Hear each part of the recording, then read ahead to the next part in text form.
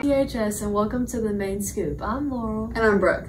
Your quote of the day is by Walter Anderson. It is only when we take chances that our lives improve. The initial and hardest risk that we need to take is to become honest. The weather for today is cloudy with a high of 54 and a low of 35 with a 70% chance of rain. Congratulations to the cast list of Garrett County production of Radium Girls. Save the dates May 12th and 13th to come and watch the show.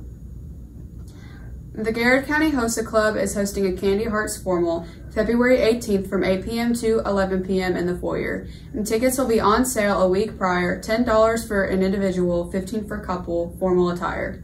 For lunch today is a chef salad with a breadstick box or an uncrustable box or a turkey and cheese sub box, chicken tenders, mashed potatoes, green beans, and coleslaw, a roll with gravy, sidekicks, or a peach cup. Today is National Library Shelfie Day. This year to celebrate it on January 25th. It is a day for book lovers to share their favorite books and library shelves with the world in a fun way.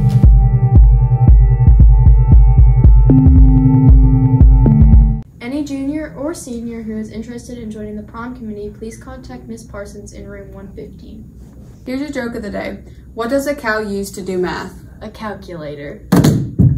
That's all, folks. Have a great day. Bye.